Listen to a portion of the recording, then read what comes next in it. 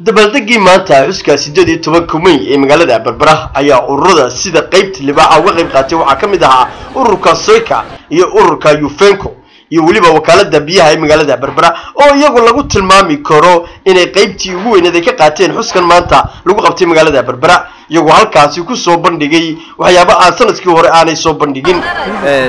Waxaan maanta sideed iyo tobanka may hambalyo u dirayaa guud ahaan shacabka somalilan guda iyo dibadba anigoo ku hambalyaynaya maalinta qarannimada somalilan ku aastaysan tobanka may waxaan hambalyo ducaba u marinaya hawada dhammaan shucuubta somalilan ee ku kala nool qaaradaha adduunyada iyo gaar ahaan somalilan. Waxaan kaloo leeyahay waa maalin ay u soo daateen dhiig badan. Waa maalin waxa weeyaan maal iyo adduunyo badan loo lumiyey.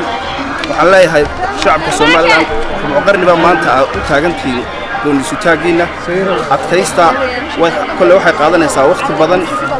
Aynu u samirno wasalaamu calaykum waraxmatullahi maanta waxaannu leenahay waa maalin qaali ah. Waa maalintii ay dadku cabireen ama ay go'aansadeen inay madax bannaanadoodii la soo noqdaan. Shan iyo labaatan guuradeedii weeyaan maanta. Waxaa waxaa muuqataa shucuurta dadka waxaa ka muuqata maanta inay iyagu goosteen. Go'aanka inay iyagu leeyihiin ayay muujiyeen. Run ahaantii waa maalin qaali ah.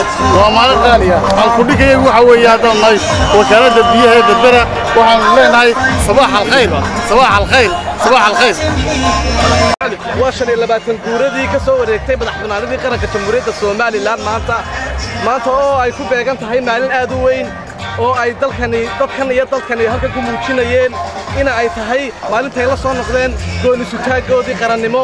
Waa sideed iyo tobankii mey marka maanta waxaanu ina dalka jamhuuriyadda somalilan iyo qaranka somalilanba guul guul guul. Yaasiin jaamac cali har wanaag news magaalada berbera